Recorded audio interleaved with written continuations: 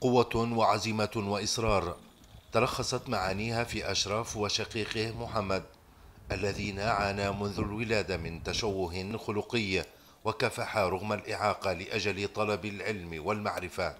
أمام كلية الأداب والعلوم في منطقة بدر وككل صباح يأتيان لتحصيل العلم.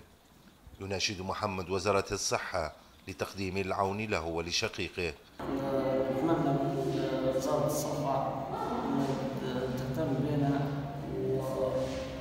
ويعني مش بس يعني مع كان في ليبيا كلها يعني سبب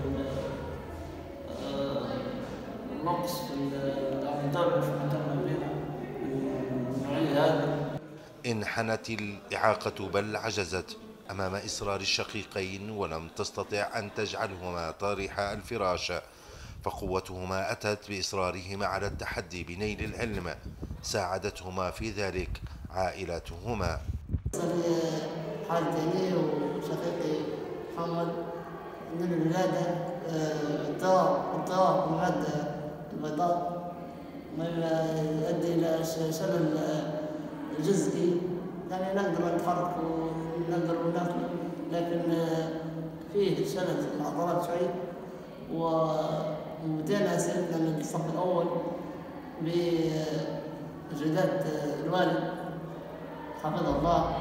قصة تتلخص معانيها بأن الإعاقة لن تكون سدا ومانعا أمام من صمم على النجاح ولكم في أشرف ومحمد أسوة حسنة.